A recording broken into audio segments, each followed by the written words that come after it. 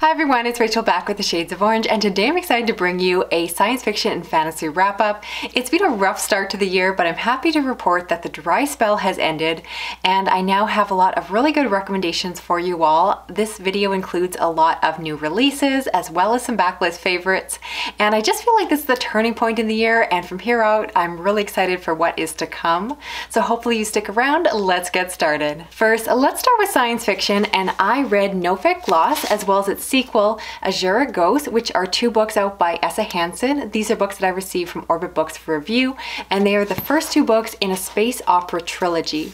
In the first book, we follow a young man who, right at the beginning of the story, experiences a horrific massacre, and he ends up surviving. And again, this is right at the beginning because he is pulled away by this ragtag group of salvagers, and the story goes from there. Now, I gotta say that this story has one of the most incredible incredibly dark and memorable openings because the massacre scene is just so brutal. The characters, or rather the creatures in these first chapters, are just so imaginative and it really grabbed my attention as someone who loves things that get really dark. From there, this moves on to what I would describe as a more classic or tropey space opera series, but it did have some interesting twists and turns or world building aspects that I haven't quite seen before, so I do appreciate it that the author played around with with that.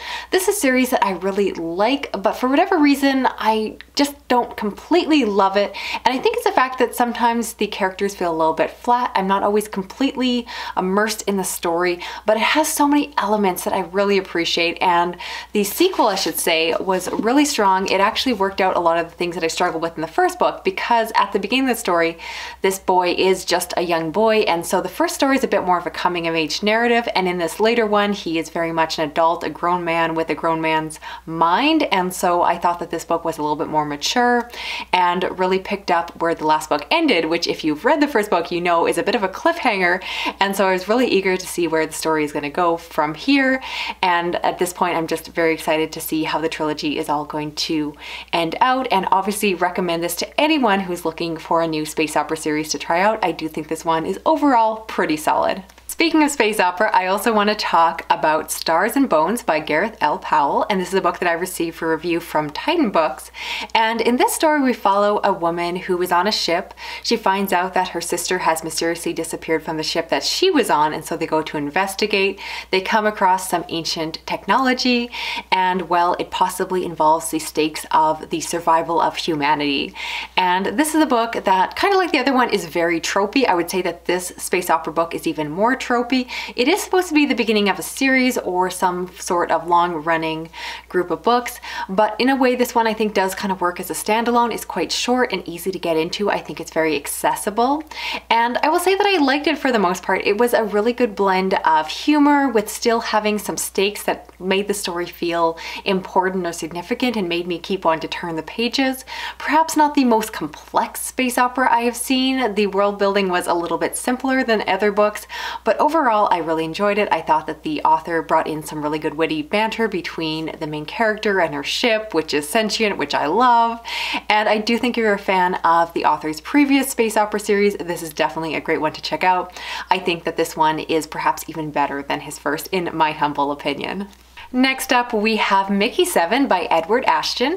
And this is a really fun science fiction, almost thriller, that is set in a future where there is technology that allows certain employees to become immortal or rather disposable, depending on how you think about it.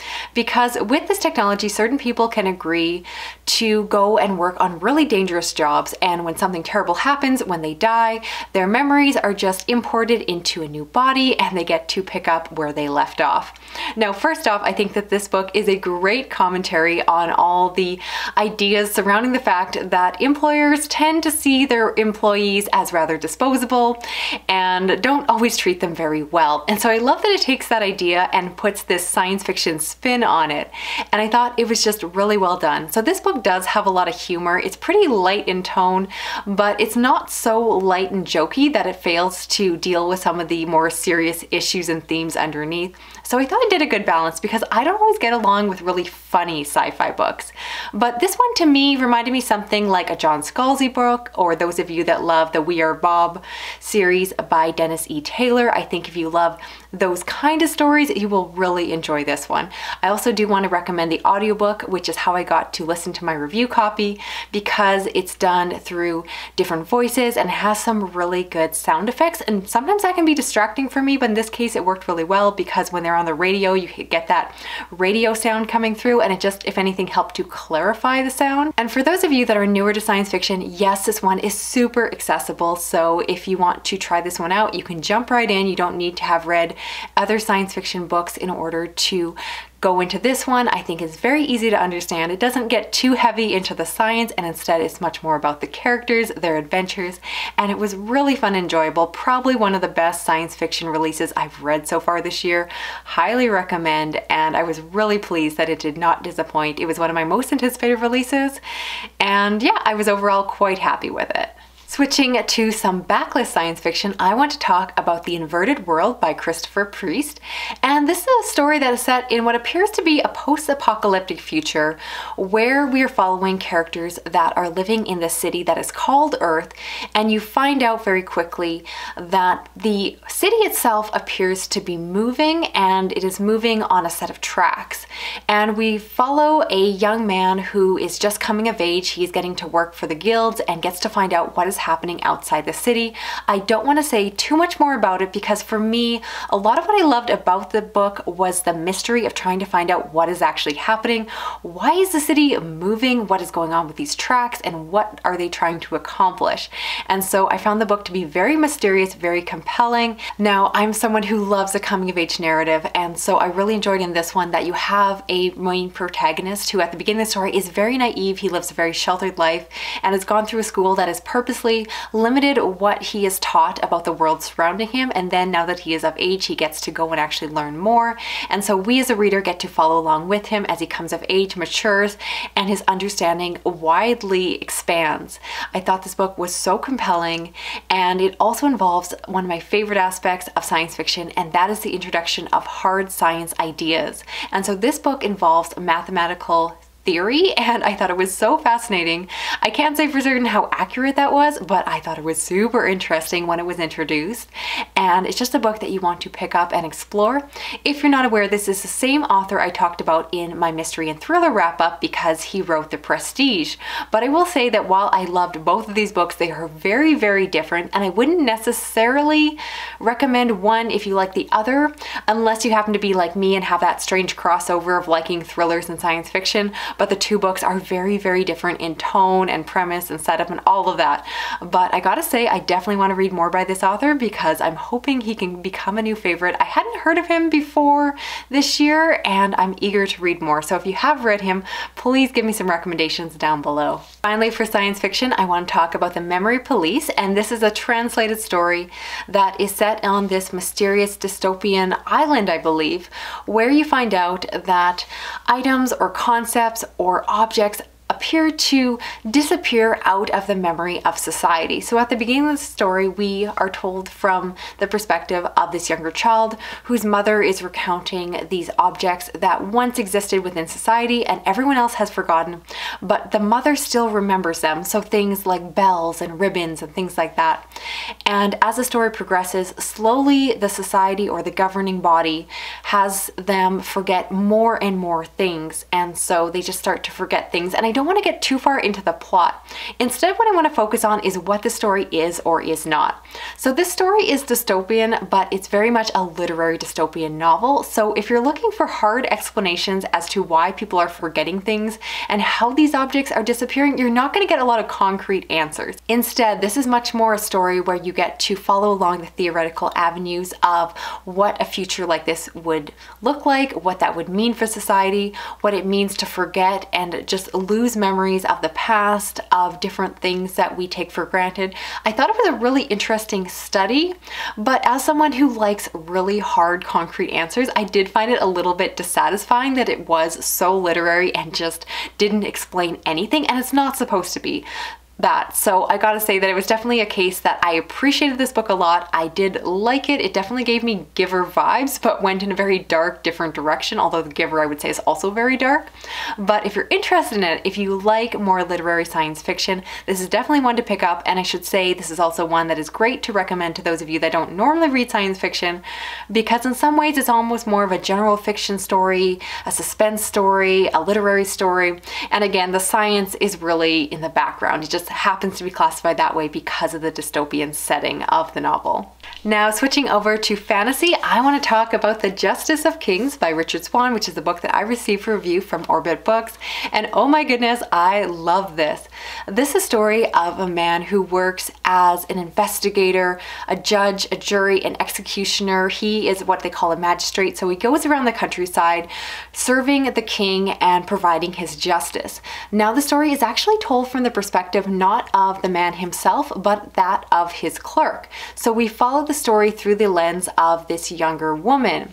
And I thought that was a really good choice because this man is almost a bit unknowable. He is almost more of a figurehead and he is very mysterious and just someone who I don't think the story would have worked as well if we'd gotten the story through his lens. I actually think the story would have read a lot more flat. Instead, we get this third party perspective who I think is very likable and much more knowable and relatable as a main character. And I will admit that this book started out a little bit slow, so I was getting into it, but you know, I was going along, seeing where the story was going to go, and about halfway through, oh my goodness, I got hooked. I love the direction the story went. And from there on out, I was completely immersed immersed in the story and just found myself flipping the pages, wanting to know what was going to happen next. Essentially, we follow them as they're going around and again serving the justice. And the magic in this is really interesting because he has the ability to compel people to tell him things and has certain magical abilities that assist in his work. And it's told throughout the story. It gets a little bit dark and brings in some elements that I don't want to spoil, but I, as someone who loves horror, really enjoyed those aspects to the story. And I will say, and I said this on Twitter, that this book I think is perfect for those of you that love The Witcher. And I love the TV show. I struggle a little bit more with the books. They just don't work quite as well for me. But this book kind of had a similar setup where you have someone who is investigating, you have a adult male with a younger female who are the protagonists of the story. And it definitely gave me similar vibes to The Witcher. But in my opinion, I much prefer the writing in this over The Witcher. I thought the prose in this was beautiful. It is so strong and just well written. I am very eager to read more by this author and read through the later books as they come out. I really think that there's a lot of hype around this book, but it's for a really good reason. You know me, I don't always like really classic fantasy, and this arguably is more classic than some of the books I normally fall in love with. But the more time I spend away from this book, the more I find myself thinking about it. I want to reread it before my end of the year content because chances are this is definitely going to end up on my end of the year your favorites. It's just a matter of where it ends up on that list. And I really recommend it. I really loved it and just again want to get back to that world. And last but not least, I want to talk about City of Lies by Sam Hawke. And this is a piece of epic fantasy that is told primarily over two perspectives. We follow a young man who is trained as a poison taster.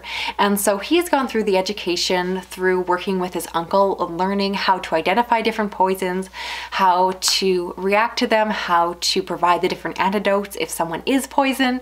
And as part of his job, he is required to taste certain things in order to protect the royal or higher ups in his societies. The story is also told from his sister's perspective, who does not work as a taster because she actually suffers from an immune disease that makes her very compromised. And so she deals a lot with her illness affecting her day-to-day -day life and I thought that that was a really interesting aspect to the story. I should also mention that the first perspective I mentioned of the young man, he appears to be neurodiverse in some way or struggles perhaps with something like an OCD tendency and so I thought that was really interesting. It's never named on the page in this fantasy world but it's very clearly shown how he struggles with these certain tendencies and how it plays into his life and I really like that because it's just not a representation I see a lot especially in fantasy fantasy. And I'm always looking for those little diverse aspects to be woven into my story. So I will say that my favorite part of this book, unsurprisingly, was the part involving the poison.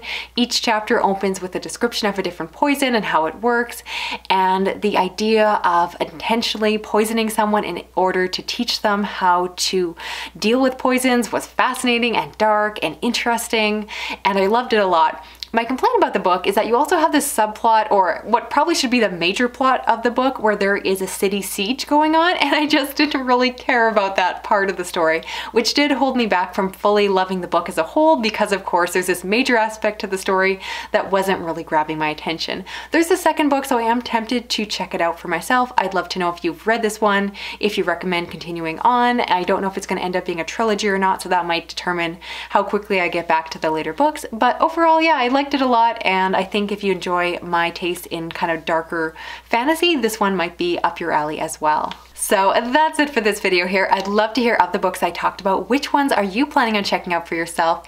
And as well, I would love to hear what is the best science fiction or fantasy book you've read so far this year? Because like I said, I feel like things are turning around and the rest of the year is just gonna be whole bunch of new favorites coming down the pipeline with lots more recommendations for you all. At least that's my plan. We'll see how it goes. If you're new to my channel, please consider subscribing. I do read a lot of adult science fiction, fantasy, as well as horror and thrillers.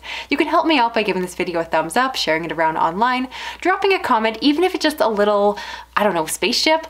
And if you hit that little notification bell, you'll never miss a video from me. Thanks so much for watching. I'll talk to you again soon. Okay, bye-bye.